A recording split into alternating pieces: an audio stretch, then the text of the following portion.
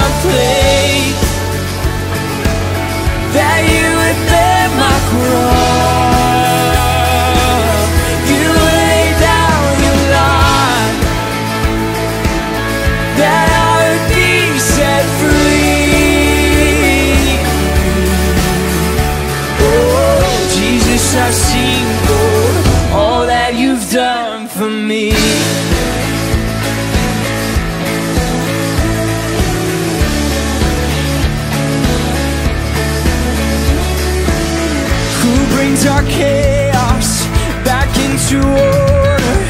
Who makes the orphan a son and daughter?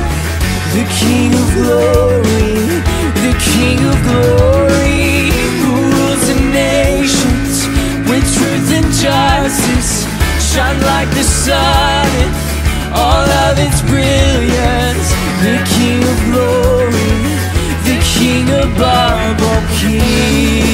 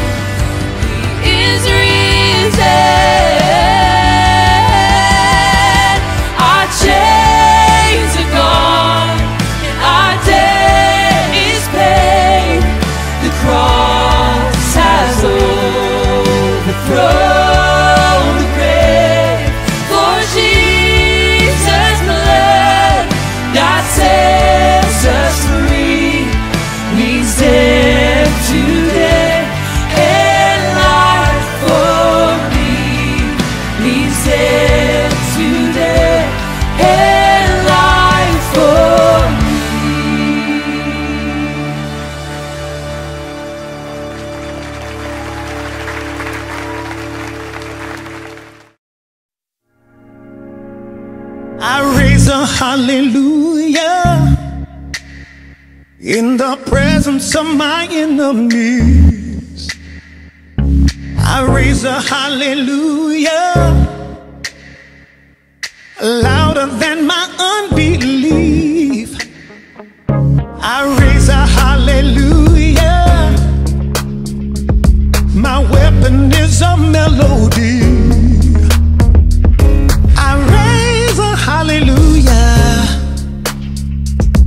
and heaven comes to fight for me. So I'm gonna.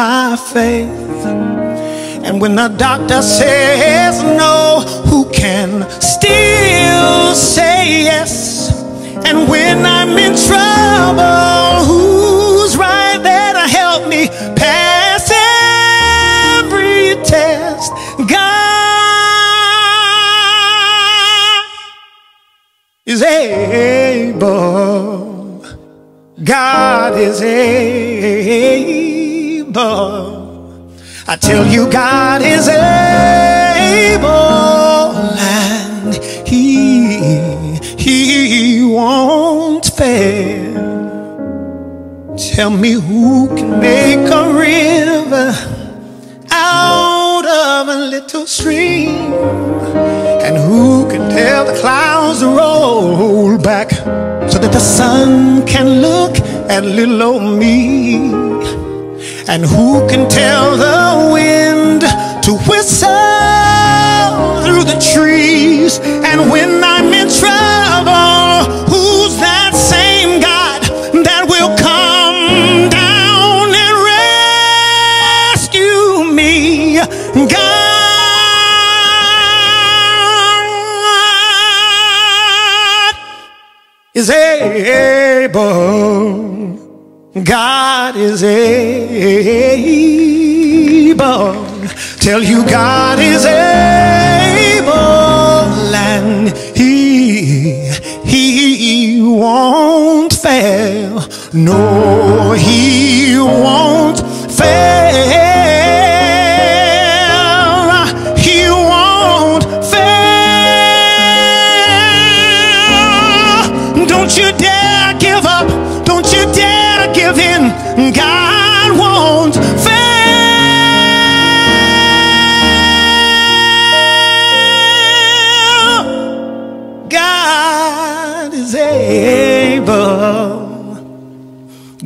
God is able. I tell you, God is able, and He won't. No.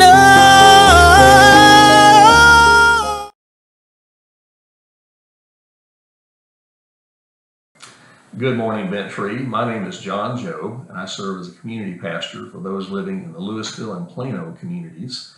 Uh, my wife and I have really missed meeting together with all of you these past few months, and we're really looking forward to the time we can all get back together and be the church united and meeting strong together again. Meanwhile, we hope you have a great time hearing today's worship service. We love you guys. Bye.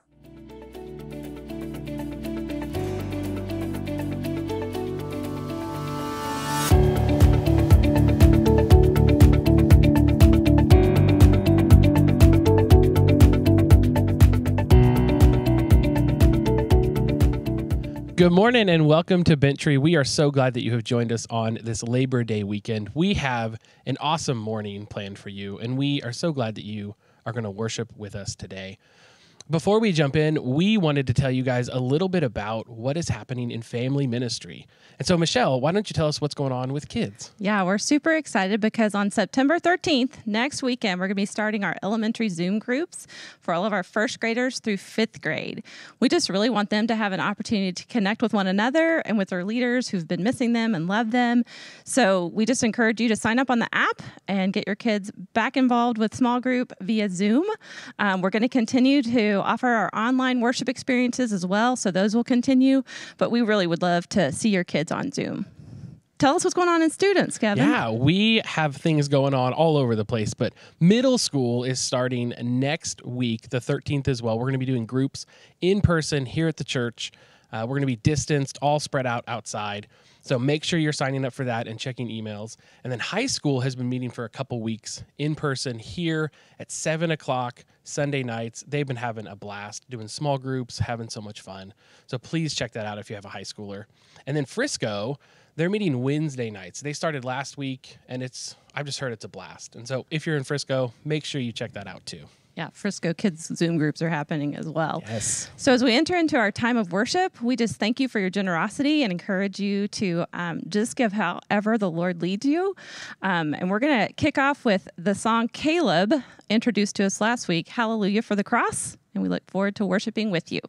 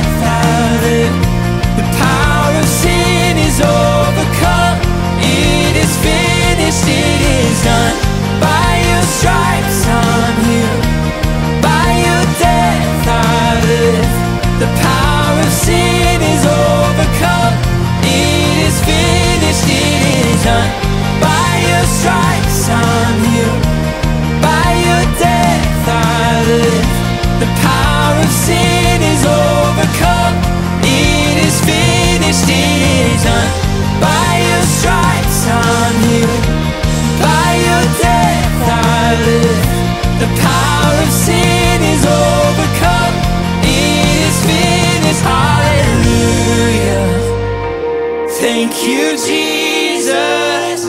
I was a prisoner.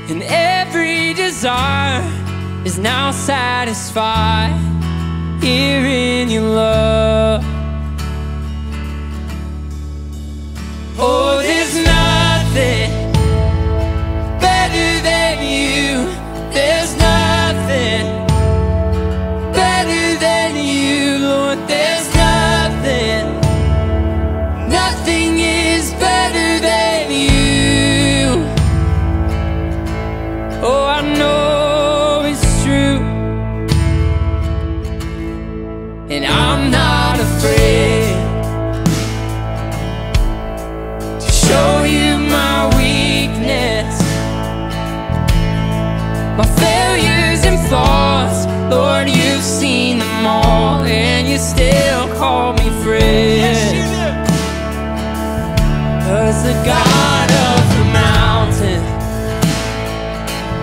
Is the God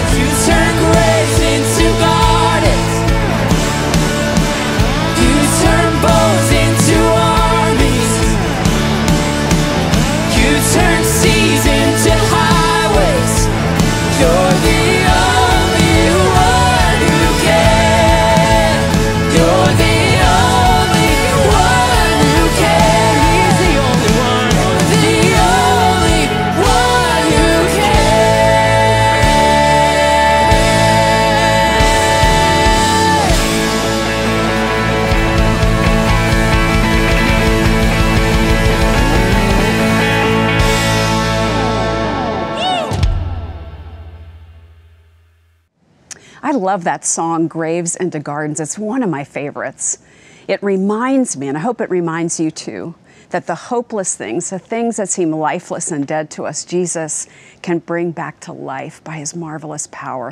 Hope that encourages you today, and it's awesome to worship together, isn't it? You know, the last several weeks we've been having conversations around our new vision. We're a movement of ordinary people experiencing and sharing the extraordinary love of Jesus. And we've tried to bring that to life to you. And we're concluding today with a special set of conversations with our elders. You know, our elders guide, guard, and govern our church. There's a kind of a job description of elders in the book of Acts, chapter 20, verse 28. Let me read it to you. Paul says this So guard yourselves and God's people, feed and shepherd God's flock, his church, purchased with his own blood, over which the Holy Spirit has appointed you as leaders. You see, our elders are our leaders, our spiritual leaders. They lead mostly uh, from behind, uh, making decisions for us behind the scenes. At important moments in our church life, they come forward and make announcements about the direction of our church and key decisions. And we thought it'd be great to finish this series on vision, having some conversations with these elders of ours, the team, our brothers and sisters, to see what they feel about the vision, how they're excited about the future of our church. And so we'll have two conversations today. Matt Smith will have the first conversation with Maureen Silko and Mark Raleigh. Uh, they'll have a lead pastor update for us and talk to us about their excitement about the values and the vision of our church. And then Steve will host a conversation with Deidre Locks, John Barrington, and Matt Scott about the parts of the vision that are exciting to them as it rolls out in the life of our church. So sit back and enjoy these conversations with your elders, the brothers and sisters that the Holy Spirit has appointed to lead our church. And I hope you'll be encouraged. Maureen, Mark, thank you so much for joining us for this conversation. I'm really excited to just get to chat with you. I always love chatting with you, but we'll know this will be a sweet time as well. As we've been discussing our vision, there's been a whole lot that we've talked through. One of the things that we've discussed is the values that come with this vision. And a question that's kind of come up is what's the difference between our distinctives and our values? Do you have any insight on that? Yeah, I can take that one. Absolutely. So, um, first of all, thanks for having us, Matt. It's great to be here. Um, I would say that our values are a biblical conviction of what Jesus calls the church, the Big C church, to be. Distinctives are unique expressions at Bent Tree within that biblical framework. Cool. So as we move into this vision, the distinctives aren't being replaced with the values. The values are something that we're looking at and focusing in on. What are the values for the vision? There's actually six of those, and I'll do the first three, and we'll let Maureen get the next three. Um, the first one is is the centrality of Christ. Um, Jesus is the head of the church. He is the reason we do everything we do. He is the um, the source of our lives, and we are fully dependent on Him. The 1st one. Uh, the second one being the indwelling Christ, um, in which Jesus comes and lives in us and works through us. Yeah. Um, we have a new spirit. The old is gone, the new has come. And so within that spirit, we're fully dependent on Him to do the work that He has only for Him to do in us. And then the third one um, is the work of the Holy Spirit. And so the Holy Spirit is an active, moving third part of the Trinity. And as we engage Him, we're always listening to see where He's going to lead us. Love it. I think the first three that Mark um, mentioned really focus on Christ. I think these next three values really focus on us as, as a people and a, a church, and we really want to pe- we really want to be a church that is characterized by our prayer. Um, what a privilege we have to approach the throne of the King of Kings and the Lord of Lords, and um, we want to be recognized as as people who deeply invest in, in the power of prayer.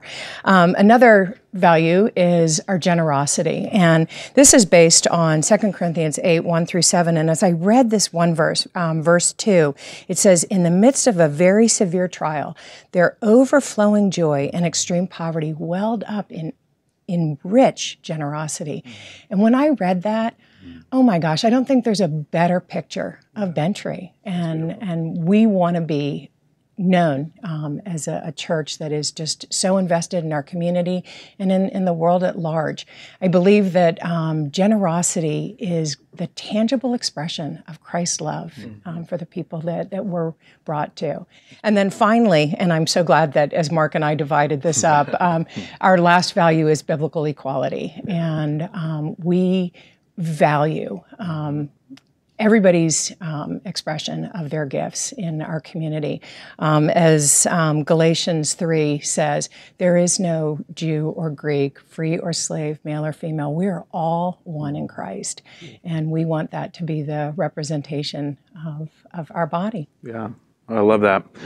Um, I, as you were sharing that, I was thinking some of the distinctives are very similar to some of these values, and it's something that we've seen around here already. I'd love to hear a little more about your heart on specifically generosity and prayer. Um, how have you already seen this, and what do you hope for to see this as it grows even more? Yeah, for generosity, I think Maureen hit the nail on the head. I mean, I've been at Bent Tree a long time, and I think that is a just a clear picture of who Bent Tree is as the body of Christ. And I think the one of the best, closest examples I've seen recently was the food pantry drive. It's about a month ago, and um, I know the team came together and said, if we can do thirty thousand dollars for these three food pantries, that would be such a huge praise in a pandemic where everyone's at home. And I love God's sense of humor. He says, you know what, I got that. So within the first hour Yeah. of the ask, 30 30,000 plus dollars was coming. The total giving of the of the food pantry was $112,000 from our body. Yeah. So that means every single food pantry got over $37,000. And I to get to be God's part of his generosity to his people saying, I got this and I'm going to show you how big of a God I am. Yeah. I just love that. That's really cool. So I as I experience that and see that, I think about our future and know that the people that God has here to work in and through is to be generous, not only in their finances but in their time. Um, I love to see people serve and walk and run in their gifts here, and I just it's the beauty of our church right now. Yeah. it's one of the things I love. So I'm looking forward to seeing what God does with that. That's really cool. I love that our goal was 30 and we were able to give to each one more than what we not all together. Maureen, can you share a little bit about prayer? You you talked briefly about it, but tell us a little bit about how you've seen this and what you hope for in the future. Sure. Um, when we go on our um, elder retreats, um, usually Sunday nights are set aside for just the elders to share with each other um, what the Lord has laid on their hearts and where He's leading each one of us individually. And I, I recall so distinctly a couple of years ago, Mitch made the comment that it was time to let the Lion of Judah out of the prayer room. And as soon as he said it, it was so obvious to all of us that the staff and, and the elders, you know, whoever's in the prayer room gets to experience, has the privilege of being part of the power and the beauty of answered prayer. And we wanted to extend that to everybody in our body. Yeah. And so, as you know, and as our congregation knows, um, we started our Healing Sunday services where we um, engage in corporate prayer. And it's it's such a beautiful time. And being at such a pivotal time in, in our history of Bent Tree um, with this prayer and fasting. I mean, what an opportunity for us to come together and just appeal to the Lord to, to guide us. And so I, I think we're going to see more and more of um, that where we have the opportunity to come together in prayer. Oh, I love it. I love to be a people known as a people Yes, who praise absolutely, and um, a generous people as God is generous, and that is on display here. Now, um, one last little conversation I'd love to have is we're um, looking for a lead pastor, and that search has been going on. It's been a while since we've heard an update. So I was wondering if you could share any updates that we have as we are praying for the person God's bringing. Um, we're actually entering into stage three of the process with Slingshot. And as we were praying, um, and they went out to look for candidates, over 250 people applied. Wow. So we were really cool. excited to Yeah. see that response. And uh, Slingshot has done a great job of putting together a, a few candidates for us to look at. So over the next two weeks in stage three, we'll set up a phone interview, um, Zoom interview with them and get to know them. Um, and then that'll kind of set up for, for the next stage after that. Additionally, I'd love to, to ask the body if they have questions. They can email us at pastorsearch at benttree.org um, and obviously get more information at the website at benttree.org slash pastorsearch. Um, so ask us that we just continue to be prayed for, our, our team, um, the body, and that future senior pastor lead that we're looking forward to. Love it. So we're we're now into stage three. That's a big uh, shift, and um, it's available on our website. Information there, also through the app. And we'd love to know any other update you have. Well, as, as Mark said, oh my gosh, we were just so pleased um, that we got so much interest in, in this role. Um, we have been um, reviewing um, sermons, and so that's been um, very interesting. And, and the candidates that the Lord has brought to us um, has just been beautiful and, and each so different in which they what they bring. And so um, we're really excited about that. Um, one of the things that right out of the gate that we have focused on and prayed about is that we would never get ahead of the lord on this that we would be fully surrendered um, and that um, we would follow where he leads us. Um, and so one of our prayers is that um, we would have clarity and unity and peace about this. This is his. He knows um, who he is bringing to Bent Tree. Um, we would also ask um, for prayers for um, our next lead pastor, for their families, um, and um, what lies ahead for us. We're very excited. We know that the Lord has been preparing um, them and um, and their families for this adventure that lies ahead. Th- I love that you gave us some things to pray about. There's also a prayer guide in the app and on uh, the pastor search page. Would love to continue to see the body praying together Absolutely. for you all as you make the decision for the, the lead pastor that's Right, and, coming. and the opportunity to come together um, this past week with the um, the three day fasting and prayer um, just allowed us to really earnestly seek the Lord and and um, come before Him. Love it. Beautiful time. Thank you both for Thank taking this time to be with us. It's a gift to me. It's also a gift to the body. So thank, Thank you. you. Thank you. Appreciate it. So this song has been an anthem for me for 2020. Um, it's been a very hard year. Personally, I know it's been a hard year for all of us. We've all um, taken this year on um, in different ways and responded differently. But just in my own personal life, there's been some darkness, um, certain situations that have popped up that I wasn't expecting. And so it's led to a season of me being very angry with God and questioning his goodness and questioning who he is because my experience of 2020 has led me down a thought process that contradicted who I had known God to be. In this song, there's two lines, and they're very simple lines. It's the chorus. It's, Don't let your heart be troubled. And then the very end of the chorus is, For God is madly in love with you. And even though we're all going through it, even though our hearts are troubled, we feel anxious, we feel, feel fearful, we're kind of wrestling with what we know the Bible says about God, yet our experience of everything going on and how the evil one can come in and attack and speak lies about, no, he is not faithful, no, he is not good. Because you did this, he doesn't love you. The reality is, God is madly in love with you.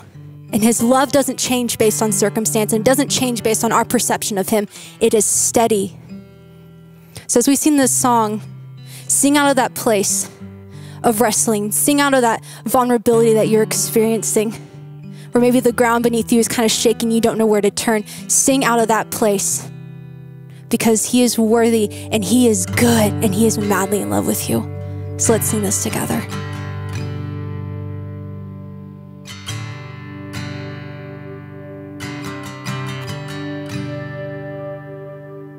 People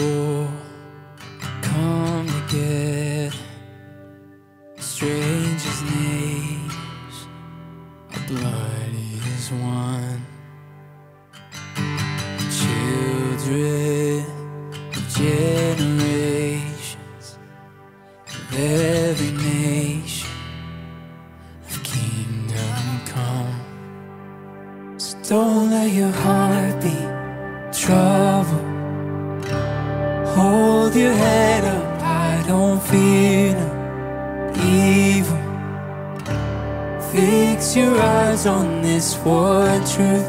God is madly in love with you. Take courage, hold on, be strong. Remember where our help comes from. Yeah.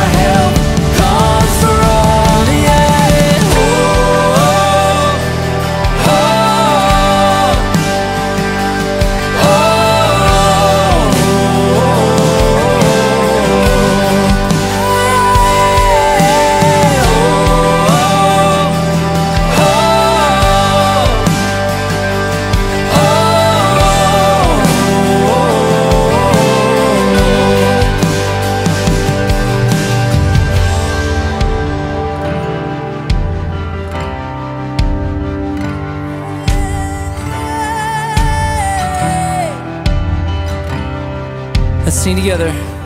Sweetheart, all you heavens, let the praise come up as the walls come down. All creation, everything with brotherly faith, the sound. All his children, clean hands, pure hearts, good grace.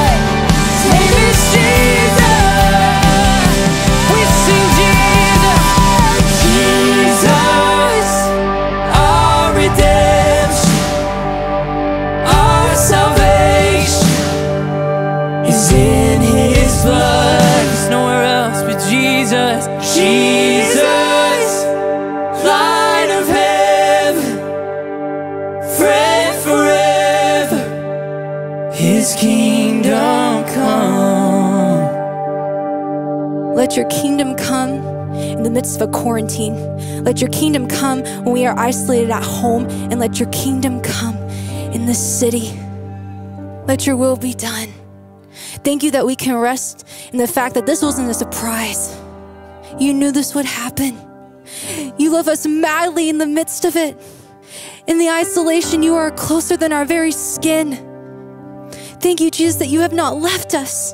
Thank you, Holy Spirit, that you are still speaking. You are in the midst of it all, that we are not isolated from you. We're not alone. We love you in your name. Amen.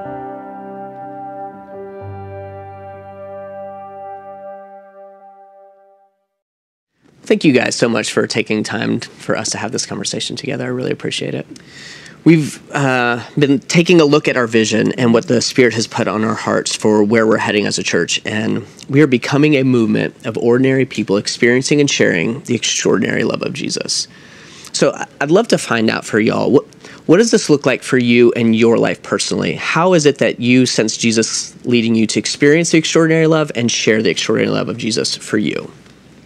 I think even during this pandemic, this has been the most interesting part is that um, I'm so used to being in my bubble with my folks here at Bent Tree, my friends, and all, and all the people here. And then what we find is, especially when the pandemic first started, and back in March, in the spring break that never ended, we would go out in the neighborhood and we'd walk, and um, yeah, we'd socially distance. But I'd begin to see people that I knew because of um, I drive by them in the neighborhood, but then I'd begin to see them walking through the neighborhood, and we have a chance to stop and talk. And friendships have grown um, in our neighborhood. We did a we did a canned food drive in our neighborhood for Love Packs, and people would come to our house and drop off food, and then they'd stay on the front porch and talk. Yeah. And we've just developed these amazing friendships, and I can't wait to see what the Lord does through that. I feel like that's been one of the most beautiful parts of this. Even um, is we've been forced to out of our normal bubble, out of the 4 four walls of this church, at a time when the Lord is really stirring in our hearts to be outside and being involved and connected with people.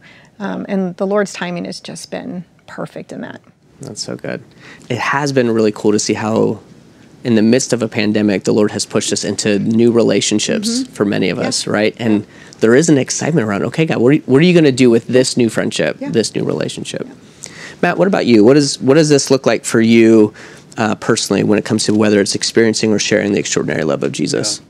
I think you know the order is really important for me to experience His love and then to be able to share it authentically. Um, and so I think you know all my life I've experienced Jesus' love. I know it, and it's hard to articulate because it truly is all my life.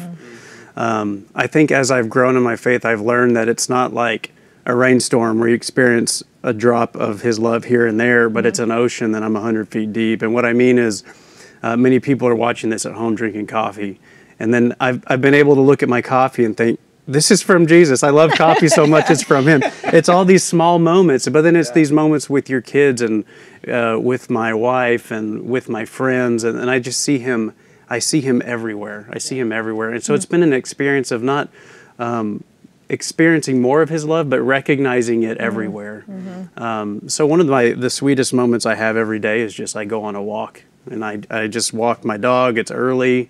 Uh, and I literally just walk with Jesus. And I wake up every morning. I get my coffee Is your, again. is your dog's name Jesus? Uh, yeah, it is actually. it is. He's holy. Uh, right, very holy dog. Um, but we walk together, uh, my dog and Jesus and I, and uh, I start every morning. I just say, "Good morning, Jesus," and then we walk, and it's really sweet. And that's that's how I've been experiencing. Um, and so having that experience, I think, allows me to share authentically. And there's a really um, a moment from Jesus' ministry I wanted to read, real specific, where um, he was just going around and healing people, and it's in Matthew nine. Uh, and in, in verse 36, it just says, Seeing the people, he felt compassion for them because they were distressed and dispirited like sheep without a shepherd. Then he said to his disciples, The harvest is plentiful, but the workers are few. And I think right now, people that don't know the Lord for a long time had shepherds, they just were false shepherds. Mm. And now all those shepherds are being stripped away, Mm. whether it's money or it's jobs or uh, it's friends. Um, they're being stripped away. And I have several friends, I have single friends, and I looked one in the eye and I said, Are you lonely? And he just said, Yes, I'm very lonely. I have another friend who told me he's cried himself to sleep multiple times since the pandemic started, non believing friends. Um, and my heart breaks for them. And I'm starting to think, you know, one of my friends just said, I'm seeing more and more my need for a savior, and he's on, he's a, he's not a believer. And I'm like, I know that savior, and I'm able to introduce from a place of I've experienced him, and also these people are recognizing more and more their need for him. Mm-hmm. So being able to share his love, we have we have the cure, we have the cure, and it's Jesus Christ. And so I think right now the harvest is plentiful. Mm. Hmm. Wow. John, you uh, you serve as an elder, but you also served on our strategic vision leadership team. So you were a part of the team of uh, servants and staff and elders that uh, put together the the vision statement the areas where we're going in our future. And so because you were in it along the way, um, I would love for you to answer the question for us. Why was it so important for us as we were coming up with this vision and what Jesus was putting on our hearts? Why were we led to a movement of ordinary people, and why is that important for us to to make sure that that was something that we wanted to capture? Yeah, it's a great question. There's really two answers, Steve. The, the first one is uh, there's a biblical reference for that, and I want to share that first before we get into the second answer. So, the, the first answer is um, this describes uh, the movement of the early church. So, um, in Acts chapter 3 and 4, Peter and John are in Jerusalem. Um, Jesus has already ascended into heaven, and in chapter 3, uh, Peter heals uh, a man who was crippled from birth in chapter 4, Peter and John have to go before the Sanhedrin. So, this is a um, very uh, sort of elite group of religious leaders. Compared to the Sanhedrin, religiously, these guys were nobodies. They were fishermen, they were uh, very sort of normal, uh, Everyday. everyday walk, Yep. you know, kind of people.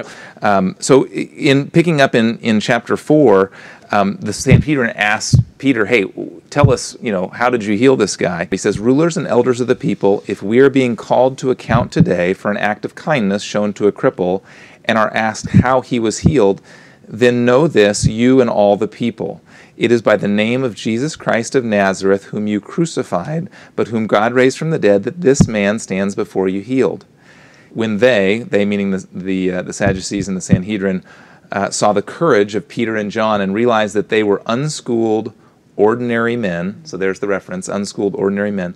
They were astonished and they took note that these men had been with Jesus. Since they could see the man had been he- who had been healed standing there with them, there was nothing else they could say.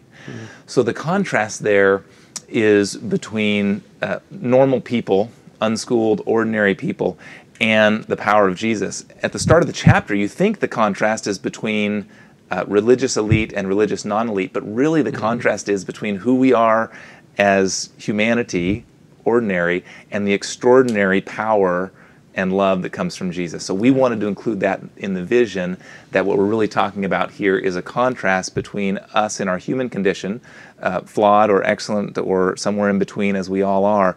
All of that pales in comparison to the extraordinary power, love Mhm. of Jesus. So Yeah. there's the contrast. Yeah, yeah, that's beautiful. And even think like Peter and John, like they're in front of the religious leaders who just got Jesus crucified. Right? You know what I'm saying? Like this Right, this is a scary group. So when they are indwelt by the power of this extraordinary Jesus and his love and his power, they speak with boldness and courage in a way where they these leaders are now taking all like, okay, we just crucified a guy and they were the ones who were with that guy and we're in awe. Like they were thrown off. Right. That here these fishermen, ordinary everyday people could speak the way they could. Yes, do and what I don't did. always have that level of courage, and, and that's what we want to encourage the Bent Tree family is that, hey, we're normal people, but empowered by this extraordinary love of Jesus, we, we can have this kind of courage as well because we have the same Holy Spirit inside of us. Yeah, yeah. So, uh, with our new vision, we have these areas of focus for our community, right? So, uh, we want to pursue the community through evangelism. We want to reflect the community in diversity, and we want to transform the community through local outreach. Of, of those areas of focus, what is it that you're most excited about? I think, well, it's reflecting the community. Um, the richest times in my life and my walk with Jesus have been, and I get a little emotional thinking about it, have been people that don't look like me, that their experiences aren't like mine. Um, the way God has designed us, um, as we take the life, our own personal life experiences, and we share with one another, and we grow together, and um, I'm just looking forward to that as we, as our church begins to look a lot more like heaven. We don't all look alike. We don't all. We're not all the same age, and it's just so fun. It's just really is fun to see. And I even think about in my own community, um, my brothers and sisters who um, are different colors, different ethnicities, just different life experiences, different ages. The widow that lives around the corner, and just being able to have these conversations with them, um, and then our church being able to be reflected, uh, reflective of what um, heaven looks like and what God intended, of where we're we're all unified and we're all made in His image, but He makes us so unique. Um, I think that for me, um, being able to experience that here at Bent Tree, and it really being a focus, it being our heart that we're praying through it, that we're being intentional about it, um, that we aren't staying in our own little bubbles again, in our own little circles, but we're expanding those, growing those out, and um, and, and bringing more people in to them. I think is it's beautiful. I'm really excited about it. Matt, how about you, man? When when you think about the areas of focus, what is it that you get most excited about? Yeah. You know, I'm really eager for Jesus to use Bent Tree to transform our community. I think all these three topics are so interrelated, though, because it, unless people know Jesus Christ, they're not truly transformed. So I think Yeah. transformation happens when Jesus Christ permeates into the Mhm. people around us. Um, so all of them are really interconnected, but um, transforming the community. And really specifically, we're, I think Jesus is going to use Bent Tree to do a lot of really awesome things. Yeah. for me really specifically and i know all four of us have daughters. I have Mm. two girls at home. And when i think about the fact that children are trafficked not just girls but also boys but when children are trafficked here in dallas and in carrollton that's not okay with me. Yeah. it's not okay. It's never going to be okay. One is too many and I think if Jesus Christ uses Bent Tree to, to rescue girls from families like mine, Mm-hmm. uh, that that makes me really excited and passionate Mhm. to be part of something like this. And I don't even know if this is appropriate to say, but I just want Bent Tree to be the bare knuckles of the body of Christ punching trafficking in the face. Yes. Like that's where I'm excited. I want I want that I want that if if Bent Tree were to exist uh, to stop existing overnight, that the community would feel a loss. Yeah. That's what I'm excited for Yeah. for Bent Tree. Yeah. Yeah. Well, Matt, I, I would love to see our church be like a throat punch right into human Exactly. trafficking, right? Like, Throat punch is better. yeah. yeah. Well, Deidre, John, Matt, thank you so much for setting this time aside uh, to share with us what God's putting on your hearts uh, for us as a church and where we're going in our future. I hope you enjoyed those conversations with our elder team. So encouraging to see their excitement about the vision of our church. You know, I've heard it said once that we, the church, are Acts 29. We're living in Acts 29. And if you check your Bible, the book of Acts only has 28 chapters. And I think what's meant by we live in Acts 29 is that we actually are the hands and feet of Jesus, continuing his mission on earth. What he was doing, the church continues to do by the power of the Holy Spirit. And that's what our vision is all about being the hands and feet of Jesus, experiencing his extraordinary love and sharing his extraordinary love wherever we go, a movement of people. I want to pray for us right now. Uh, would you bow with me? Oh, Lord Jesus, thank you so much for our church. Thank you for creating this body of Christ at Bent Tree. Thank you for her passion to reach the lost. Thank you for her passion to be a diverse and welcoming church, full of the rich tapestry of age, race, ethnicity, and language. And Lord, thank you that you have given us pressing problems to lean into homelessness and anti trafficking and food insecurity, things that we can actually change through the power of your Spirit. And Lord, I thank you for my brothers and sisters on the other side of this camera in their homes today. I pray your blessing on them, your peace, your power, and your presence on them in every way. And we thank you that we are a family together. We love you and we offer ourselves back to you as worship. And we pray this in Jesus' name. And everybody said, Amen. Hey, next week we're starting a new series in the Gospel of Luke. Steve's going to kick us off as we look at love on the move. Jesus himself sharing his extraordinary love with other people in his ministry on earth. And we will see in this series how Jesus wants to share his love through us to the people around us. I hope you'll join us next week.